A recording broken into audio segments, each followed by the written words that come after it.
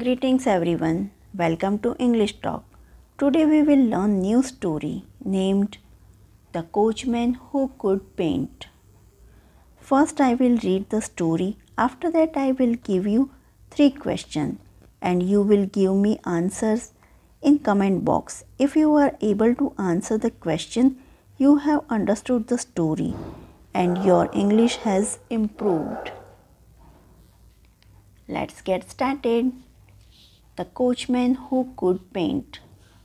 John was talking to his sister Mary's painting. Some soldiers heard his voice. They took a peek inside John's room and saw Mary's painting. They thought a real woman was sitting there. They found her to be very beautiful. They ran to their king and told him about John and the woman. Curious, the king went to meet John. Before he could enter the room, he heard John talking. The king also took a peek inside John's room.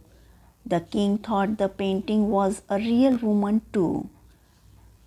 To remove the confusion of the king, John showed the painting of his sister.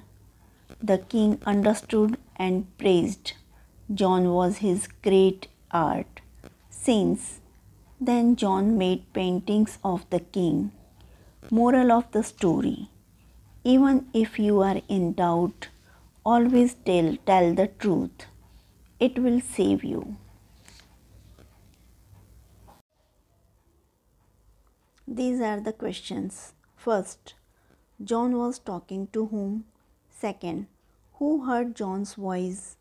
Third, did the king praise John's art? If you like this video, please like, share and subscribe. Thanks for watching.